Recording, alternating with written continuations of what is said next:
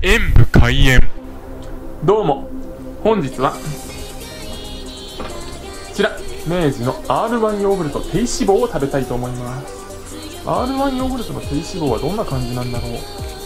LG21 のヨーグルトの低脂肪は結構さっぱりしていて好みでしたけど R1 はどうなのかな。まずは中身を。まあ中身は普通に白ですよね。では食べてみたいと思います。いただきます。調子に乗って食べ過ぎないようにしないとね。やっぱり低脂肪というだけあってプレーンのものと比べると若干甘みが少なく酸味が強いですね。ですがやっぱりさっぱりとしていますのでさっぱりとしたヨーグルトが好きな方はこちらの方がいいかもしれませんね。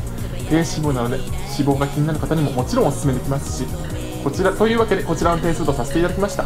もっといろんなフレーバー出てほしいな。それでは桜かな？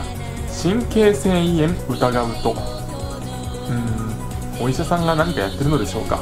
ご視聴ありがとうございました。コメントしていただけると嬉しいです。演武閉園。パソコンおよびスマートフォンのアプリの方はクリックをお願いします。